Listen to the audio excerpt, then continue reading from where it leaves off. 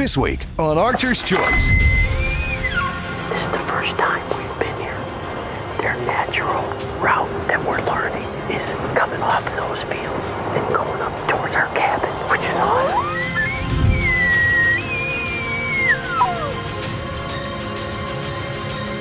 Well, we let the Beman fly, and my Hoyt hit him where it hurts.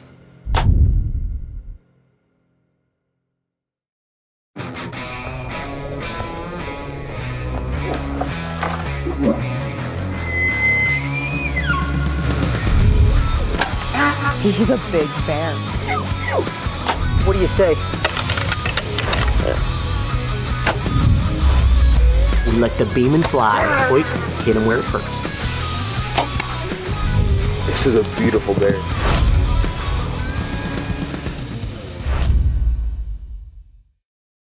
Can you believe this is our 19th year on TV? This is the 19th season of Archer's Choice. Archer's hey, welcome Choice. to Archer's Choice. Is here once again with Yeah. yeah We're gonna go hunt with Full Draw Outfitters. Out with Yes. Fred and Michelle. We're gonna do some elk hunting, some bear hunting. Who knows? We have tags for all kinds of things. Because it's a two-parter. This is part one. So Okay. we're just gonna get going.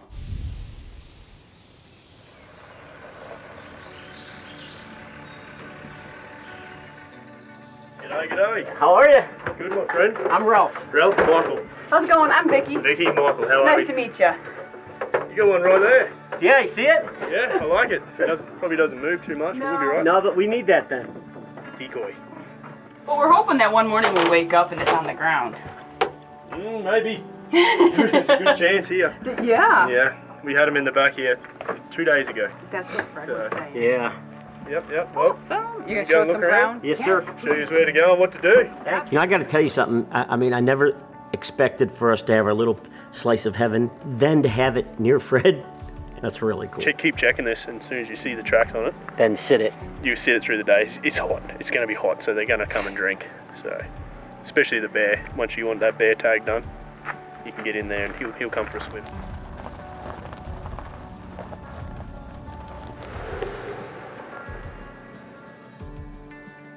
If it's a hot morning, you'll only get a couple of sits because of the heat. Just come to here, drop in on a 45, and you can work that edge. If it's not a hot morning, you can drive down to this one or this one, because then you've got a couple of hours. Like if you know it's gonna gonna be going for a while, feel free, to come right down and work it back. In the evening, you're gonna have a bit of swirl, so you're just gonna have to work out on the day. As soon as it cools down, the sun drops, it's gonna pull down again. gonna pull down. Yeah, yeah. So in your evening, you just got to work out what it is, find out on your day which way your breeze is and, and where you park is from there. And that's in there is meant to be amazing. We haven't even touched it yet. We're gonna head out probably about quarter to six, just to drive out. We'll just sit, Yep. and then we'll make our move. One of the things that we always have to do, no matter where you're going, whether it's somewhere right at your own house or if you're gonna do some traveling, is you know we take our bow out when you got to Oh do yeah. some shooting. You Grab that make Hoyt sure and start flinging working. arrows because, because I mean, little things can change, whether it's elevation, you know, th- just anything. Yeah. So always be sure because remember again, this is this is just a game, a mental game, right? And inches, game of inches. I'm thinking there's a comment I can make, but I'll just keep quiet.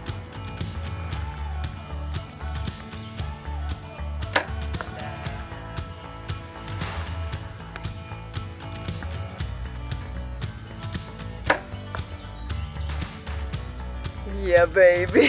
Did you see that? Now I just need one to do that this afternoon for me. Step out at 30.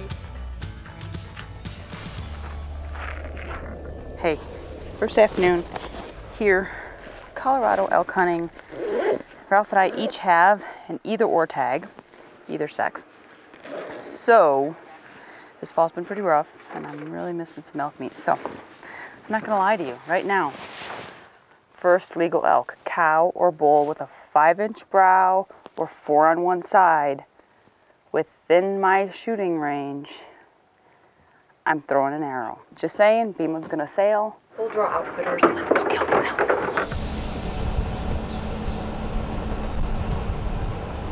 You know, we're gonna go and hunt a big oat field. Right, a food source. Right, a food source, you know.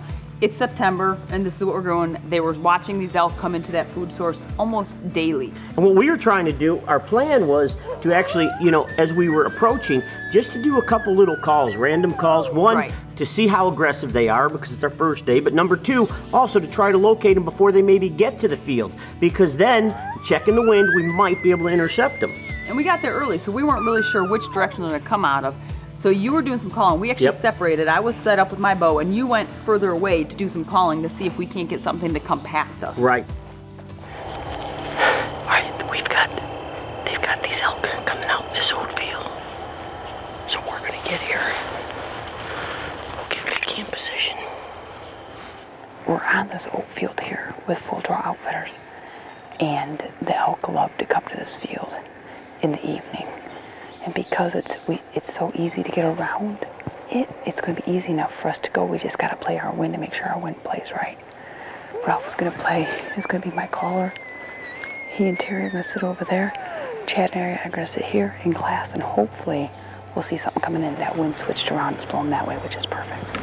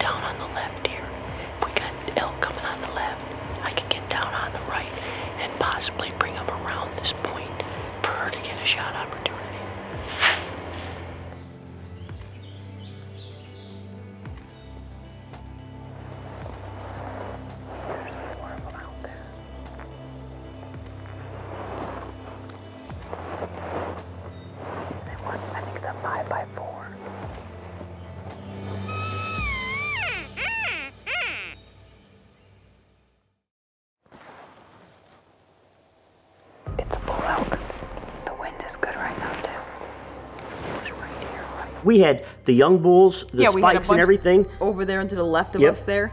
But then all of a sudden, Then, you know, the one that sort of like trips your trigger, but you have to remember something. They, they all trip our trigger.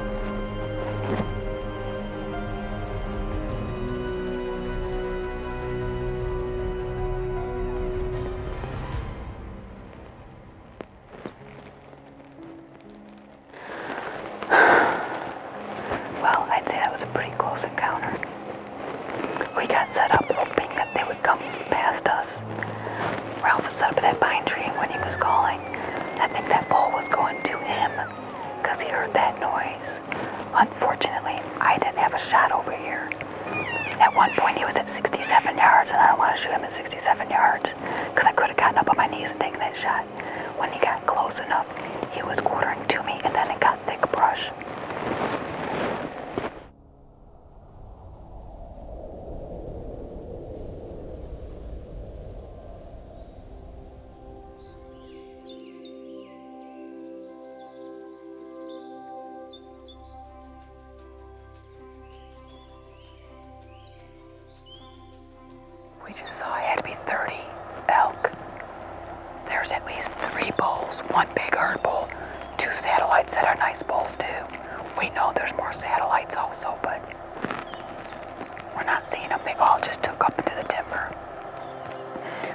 When we got here at dark, they were all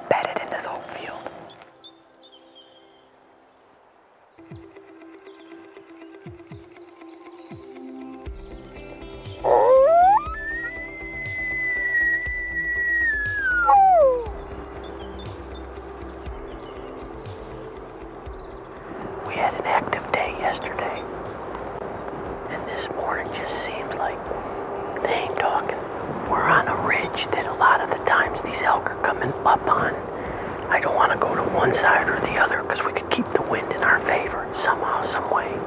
Their natural route that we're learning. This is the first time we've been here. Is coming off of those fields, coming up and going up that way. They're actually going towards our cabin,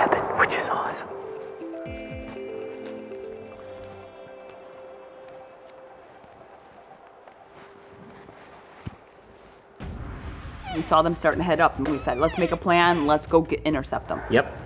So trying to keep the wind in our favor. So we were going to use the contours of the land and the timber and try to intercept them. If we go between these other ponderosas, it looks like it may be quieter than going that way. Do you see what I'm saying? So once again, we're gonna set up. You're gonna go ahead. You're calling Yep. for me. You've got your Montana decoy out Right, again, I'm working it. and you're gonna go further away so we can, because we saw a good one. Well, I'm trying. We're trying to draw them Right. again, drawing them past you. Right.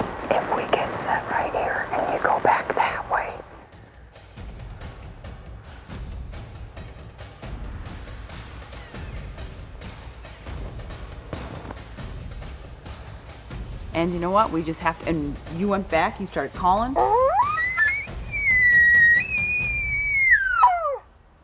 And- bull come up, And then the, something.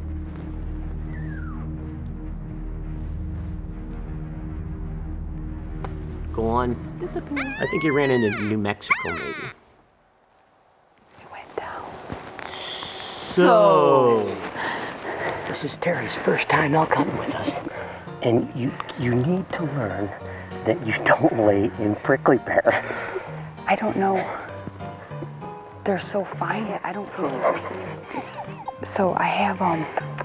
That's got to be hair. If I pull that out, you're gonna scream at me. It's your pant leg that you're gonna. Now there's more in it. There's just in my pants. Wait, one guy said at least it's your leg and not the goods. So you know, you get up early, you run around the mountainside, you come back, you have lunch, maybe you take a nap, and oh, then Oh, must be you go back out in the afternoon. okay. That's, you know, a lot I of times, think while you were siestaing, I was checking Well, trail cameras. You may have been. Yes. You may have been. But it is part of what elk hunting is. You go Oh, out, yeah. you Oh, get up yeah. early, you run the mountainsides. Maybe you don't go back to have lunch. Maybe you take a siesta out on the hillside because Yep. actually that's like the best place to But now that you have, we have our little cabin. Sometimes it's nice to just. So we're not relax too far on our- we're hunting, so we go back home. Yep. Yeah. So I'm laying there on the bed trying to take a little nap, a little siesta, and he's not there, and he left his phone behind. And I hear an elk bugle, and I swear it was his phone. So I turned his phone off, and I lay back down, and I hear an elk bugle, and then I hear some cow calling, and I'm like, that's not his phone. I was in the house and I thought I heard a bugle, which Ralph has on his phone, for a call, or for a text message rather. Yeah, I'm a mess. Um, anywho, I realized it wasn't his phone. There's an elk. There's, I can hear cows and a bull. I don't know if this will work or not, but hey, what the heck? We just heard them. Gonna have to watch the wind. I think the wind might be totally in our, un, not in our favor. But Ralph will probably show up as we're stalking across the driveway.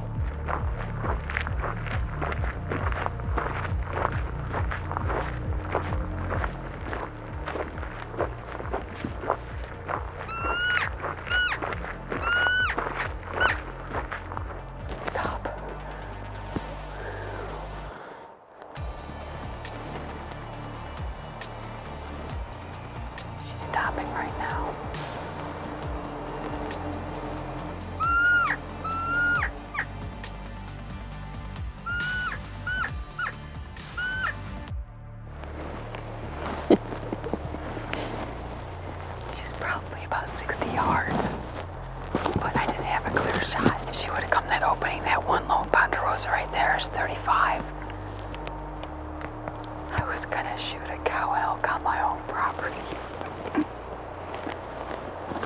There's a bull up there too. We almost made it work, bud. Ralph's still not even back yet. You need to start a fun. Nap time elk hunting. Lay down, relax a little bit before you can go out. Hear a bugle, get out of the house, get dressed real quick, and have a nice encounter. I almost just shot a cow. the bull is up there too. I go, Chad. He goes, what? I go, I just heard a bull bugle out back. And he's like, Are you kidding me? I'm like, No. So I come out here with vinyls and I'm like, I don't know where it was at. I have no idea. We're here. So I look at him, I'm like, just go change quick. I still have my sweat socks on. I didn't even put my regular hunting socks on. I'm like, just change, let's go. Just grabbed everything. and went up there and I had my cow call. I could see the bull, nice bull. He's up there. The cow, we had, she she was coming. We got her to hmm. about 60 something yards, but was in the timber. I didn't take the, if I would have taken the decoy, I swear I probably would have had a cow. You guys would have come back and we had a cow to You had a process. cow right here on our Right here.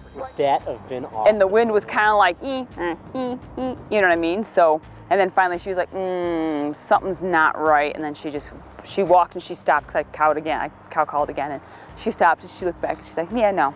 And then she didn't run. She just like walked. We'd have mounted that cow. Big shoulder mount, you know what I mean? Yeah. Dang. It was, it was pretty fun. I was like, God, we get up there and I'm like, we should have grabbed the stinking decoy. I'm like, I could have stuck her up on the ground there and we'd have been, she'd have I think she'd have come all the way in. She was looking hard to try finding something.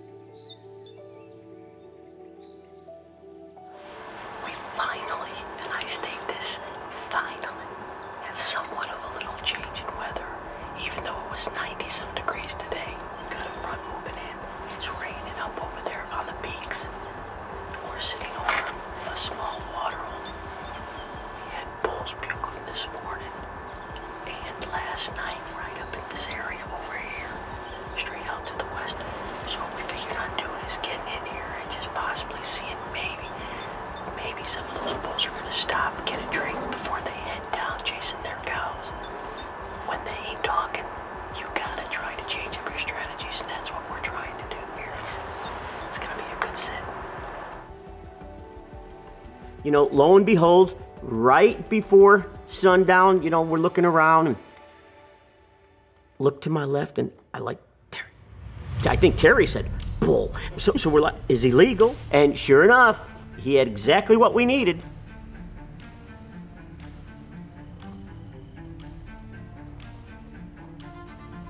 So when he came, he started to, to walk away. I ranged it prior to that.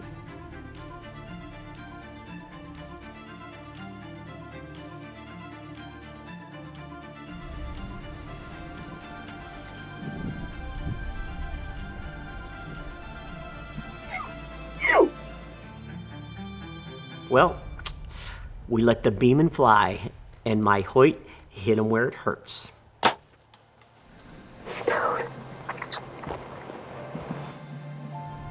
Oh, baby.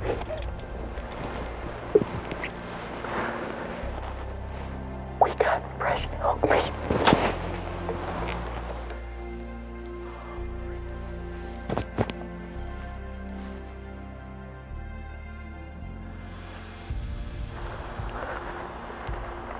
Look at this. Here's my nock. All right. A breadcrumb nock. Turned it off. All the way up here. My beam is inside him. Right to there. Up here, here. There he lies. Right there, buddy.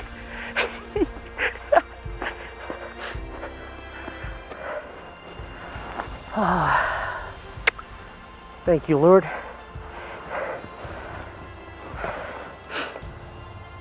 What do you say? We're up here with Fred and Michelle, full draw outfitters. We have 90 degree temperatures. Fred's struggling. He's like, they're here, and we know they're here. Well, lo and behold, our first opportunity, and we did not. We, we, we counted, it's a legal bull. We let that Beman fly, and that Beman flew, and this bull is down. I'm telling you, probably less than 75 yards from where we hit, where we shot him.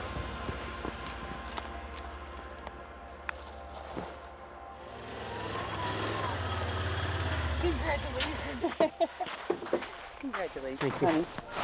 Oh, we got freezer meat. Mm. Oh.